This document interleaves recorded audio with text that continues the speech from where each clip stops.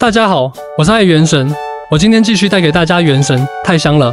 五点零两套新圣遗物来了，双火后台登场，火神希巴拉克技能机制曝光，四点八卡时调香师新地图爆料，元神四点八前瞻确定，全服送皮肤和角色，逆路新衣曝光，深褐又延期，元神四点八前瞻确定，全不送皮肤和角色，逆路新衣曝光，深褐又延期。原石最高九十八抽，前瞻时间和卡池。四点八的开服时间是七月十七号，前瞻时间已经确定。是七月五号，而卡池是。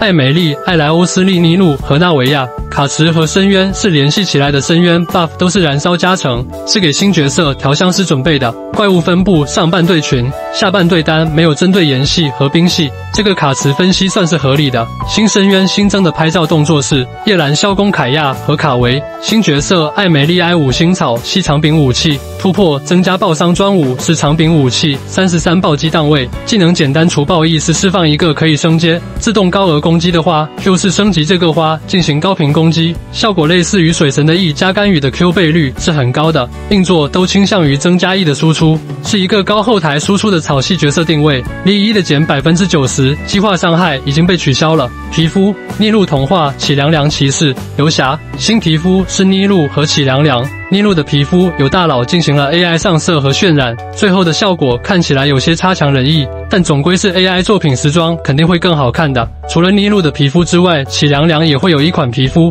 这个是会跟随活动赠送的。四月八日活动还会送一个启凉凉皮肤加角色，还挺良心的。新地图和新玩法，除了海岛的新地图活动之外，还有一个拍照类、两个战斗类的小活动。新海岛非常大，所以小活动并没有那么复杂。新海岛里面有四段剧情参。与的人还是非常多的，涉及剧透就不说了。新玩法就是角色跟随特效了。第一批时装的特效是迪卢克七七年光琴喜凉凉，这是个常驻玩法，后面会陆续增加更多角色。除了两位新角色的登场外，水神芙宁娜也终于要复刻了。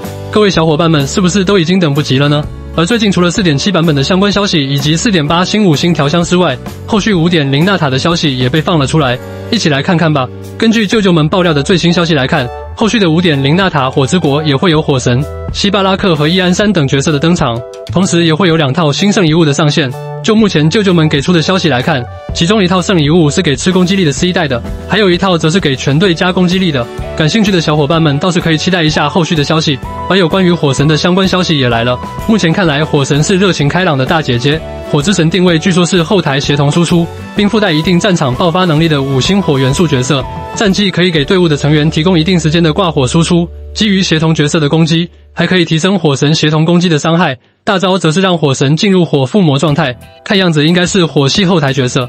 至于五星火系男孩希巴拉克，据说是通过战斗牺牲自身，转为其他队友提供增益的辅助型火元素角色，战绩可以低平后台。